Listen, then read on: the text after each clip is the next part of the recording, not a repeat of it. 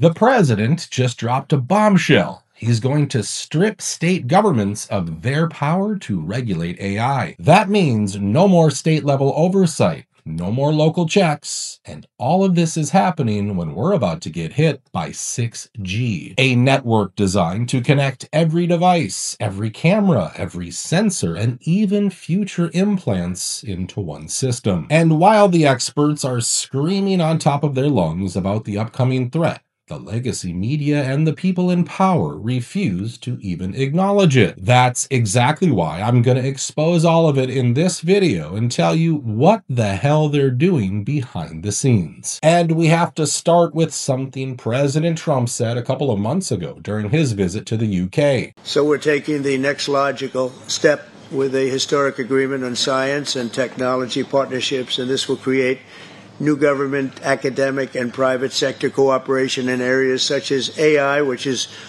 taking over the world. It's, I mean, I'm looking at you guys. You're taking over the world, Jensen. I don't know what you're doing here. I, I hope you're right. All I can say is we both hope you're right. But uh, it's pretty amazing. Quantum computing, fusion, 6G, and uh, civil nuclear energy, and align our nations through the approach of centered deregulation and innovation. And we're going to have a lot of deregulation and a tremendous amount of innovation. He was joking around like he always does, but did you notice how he suddenly looked almost nervous while talking to the NVIDIA CEO about their AI plans? What does he know about these grand AI plans that we don't? Now, his comments shook a lot of people because he wasn't just talking about AI. He was talking about bringing 6G to the country at a time when members of his own administration were still fighting the rollout of 5G they are putting in place all of these technical, technological mechanisms for control we've never seen before. It's been the ambition of every totalitarian state from the beginning of mankind to control every aspect of behavior, of conduct, of thought, and to obliterate dissent. Within five years, we're going to see 415,000 low orbit satellites. Bill Gates says his 65,000 satellites alone will be able to look at every square inch of the planet 24 hours a day. They're putting in 5G to harvest our data and control our behavior. Digital currency that will allow them to punish us from a distance and cut off our food supply.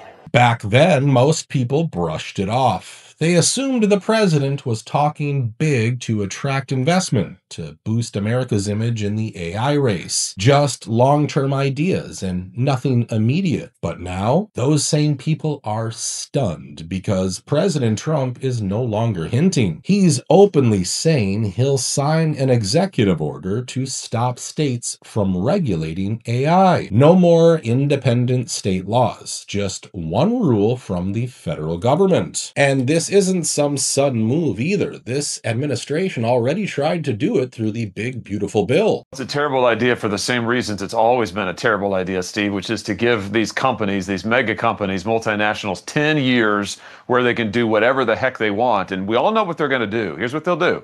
They're going to come after everything that is yours your name, your image, your likeness. They're going to take it anything you put out on the web, any of your pictures, any of your kids' pictures, your grandkids are going to take them. They're already doing it. And what are you getting compensated for it? Nothing. At that time, 99 out of 100 senators voted against removing state authority. That was also the moment Marjorie Taylor Greene first broke ranks and accused President Trump and his administration of pushing for dangerous federal overreach in AI. I had told uh, the White House I couldn't vote for. I couldn't vote for for it. There's no way because we get a vote again. Everybody needs to understand that it comes back to the House and we get to vote again. There's no way I can destroy state rights, and there's no way I can let AI have free rein and the the potential destruction that it could have for 10 years without states being able to protect themselves and the people that live there and their jobs and their children. And it was it was too big of an issue um, to to over to, to get me to a yes on and I was I'm just I'm just thrilled. And 99 to 1 that does show you that that there, there's some voices in the president's ear that are not telling him the truth. As you can see, this isn't a partisan fight. Republicans, Democrats, Libertarians, everyone agrees on one thing. Washington cannot be allowed to take away state power over a technology this explosive. But that's exactly what's happening. And what makes all of this even scarier is the timing. They're stripping states of control at the exact moment they're preparing to roll out a full 6G network in this country. And notice how the mainstream media refuses to even talk about what 6G really is. They act like it's just the next upgrade, just faster internet. It's not. 6G is being built only for AI and it's going to be controlled by AI. Now, that's already scary, but let me show you what the CEO of Qualcomm revealed about it. This is where 6G is coming. Every generation of wireless, it's a problem to solve. 2G was about making sure everyone in the world could have a telephone. 3G, connecting the phone to the internet. 4G, giving broadband to a mobile device and turn that into a computer. 5G is to allow all of us to have unlimited data rates and have mission critical communication. What is 6G? 6G is designed for AI. So in addition of the networks making connectivity and give you faster connections, will sense every thing around you. So basically, 6G waves will be able to track us in real time, and all of that information will be fed directly into AI systems, which, once again, will take control over every digital device we own. For example, we run experiments. We put our radio into a room, and you can have a baby in a crib, and just as the baby inhale and exhale and his chest moves, you have a disturbance in the RF environment, and we can actually get the heart rate monitor from the baby in the receiver of the radio. You take the AI to the next level, you can actually get facial recognition of everybody in the room.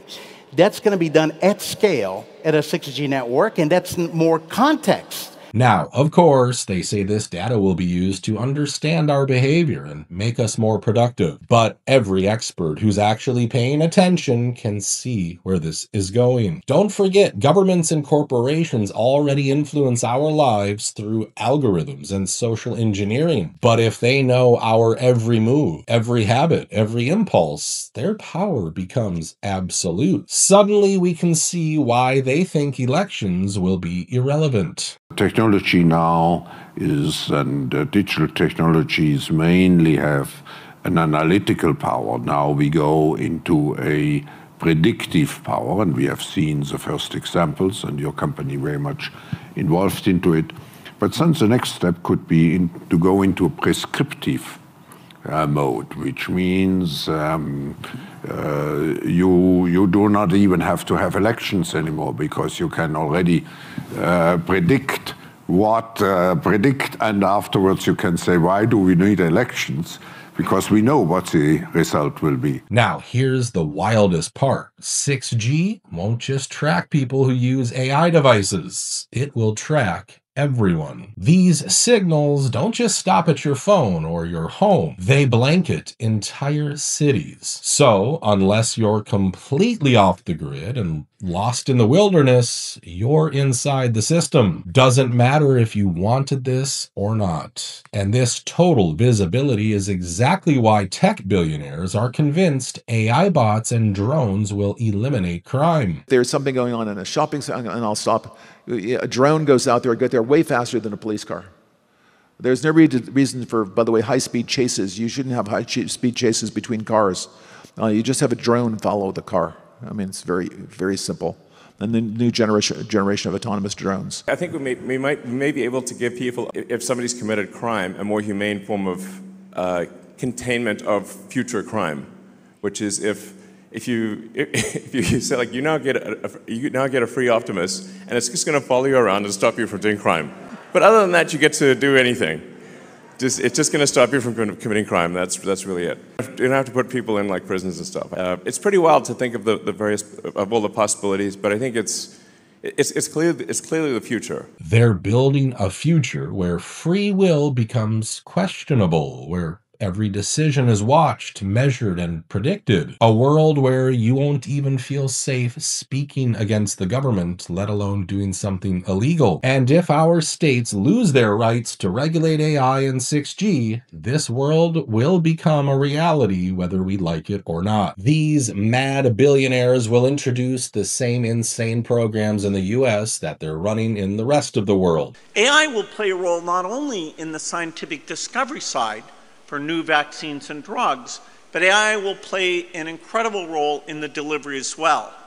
Uh, we're funding the AI companies to understand all of the world's languages, uh, including all the dialects of Africa and Asia. So even the poorest will, just with a cell phone, be able to talk and have a virtual doctor, a virtual tutor, a virtual uh, agricultural advisor. In fact, our goal is very simple that the poorest in the world should benefit first from AI, not be 10 or 20 years behind, uh, which is normally the case. And while we suffer the consequences, they'll be hiding in the bunkers they've been building all over the world. Avoid a crisis. He estimates this could push unemployment to 20% within one to five years. I'd be interested to see if you hmm. think that that's conservative or on point. Um, is this kind of looming disruption why the billionaires are building bunkers? Um, yes, actually, it's one of the reasons. Generally, it's what they do, but I know a lot of AI CEOs now who've cancelled all public appearances, especially in the wake of Charlie Kirk and things like that.